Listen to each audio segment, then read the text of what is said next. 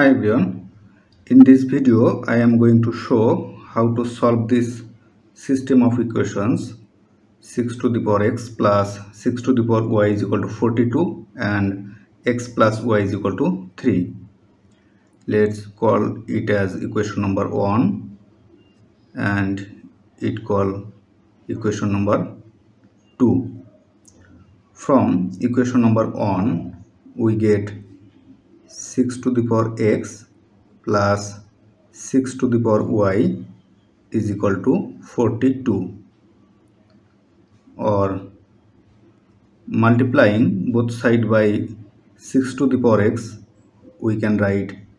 6 to the power x times 6 to the power x plus 6 to the power x times 6 to the power y is equal to 42 times 6 to the power x. Or it can be written as 6 to the power x whole square plus 6 to the power x plus y is equal to 42 times 6 to the power x. Or 6 to the power x whole square plus 6 to the power from equation 2 we know x plus y is equal to 3 so the value of x plus y is equal to 3 and taking this right side to left we can write negative 42 times 6 to the power x is equal to 0 or let's consider 6 to the power x is equal to a. So we can write a square plus 6 to the power 3 is equal to 216 minus 42 6 to the power x is equal to a is equal to 0 here a is equal to 6 to the power x. Or rearranging it we can write a square minus 42 a plus 216 is equal to 0 or a square minus 216 is equal to 6 times 36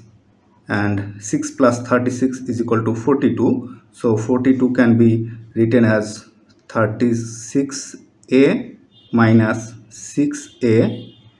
plus 216 is equal to 0 or taking common a from first two term we can write a times a minus 36 minus taking common 6 from last two term we can write 6 times a minus 36 is equal to 0 or taking common a minus 36 we can write a minus 36 times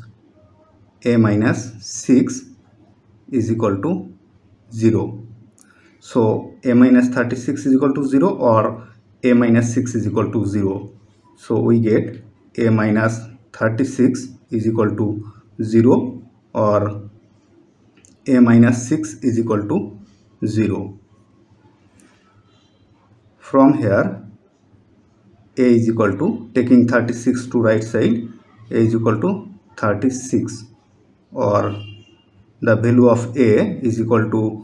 a to 6 to the power x. So we can write 6 to the power x is equal to 36 can be written as 6 square. Here base are same so power will be equal. So we can write x is equal to 2 and from here taking 6 to right side we can write a is equal to 6 or substituting value of a 6 to the power x is equal to 6 to the power 1 here base are same so power will be equal. So we can write x is equal to 1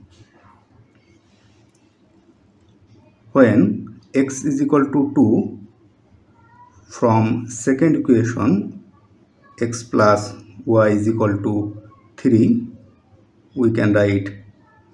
substituting value of x is equal to 2 here we will get 2 plus